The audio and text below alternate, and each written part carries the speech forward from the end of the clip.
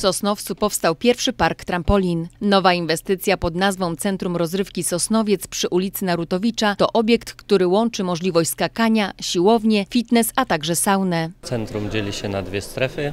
Strefę siłowni oraz fitness pod nazwą Max Gym i druga strefa to strefa trampolin pod nazwą Jump Max. No na pewno nowość, na pewno e, zupełnie, zupełnie ten, ten obiekt jest zupełnie nowy i, i jeżeli chodzi o połączenie to jedyny, chyba jedyny w Polsce, nie ma takiego połączenia siłowni z trampolinami. Atrakcje e, dla dzieci, ale nie tylko.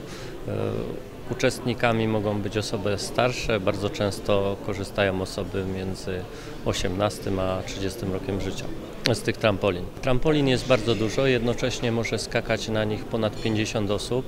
Oprócz trampolin standardowych mamy również trampoliny typowo sportowe do ćwiczeń, także i poskacze się u nas rekreacyjnie skoki mogą wykonywać zawodowcy. I nowe miejsca rozgrywki związane nie tylko z siłownią czy, czy, czy z fitness, którym, które już są na terenie naszego miasta znane, ale przede wszystkim myślę, że to duża rozrywka i chyba nie tylko dla dzieci, czyli, czyli strefa skoków, strefa jump. Bardzo się cieszymy, że kolejne miejsce, zwłaszcza, że tutaj przecież w sąsiedztwie jest ścianka spinaczkowa i tworzy nam się fantastyczny kompleks. Miasto uzyskało kolejne miejsce na to, żeby mieszkańcy byli aktywni fizycznie, tak? żeby dbali o swoje ciało, zdrowie, to jest konieczne. Wszystkie atrakcje Centrum Rozrywki będą dostępne od soboty 11 listopada. Informacje na temat godzin otwarcia oraz cen karnetów dostępne są na stronie www.centrumrozrywkisosnowiec.pl.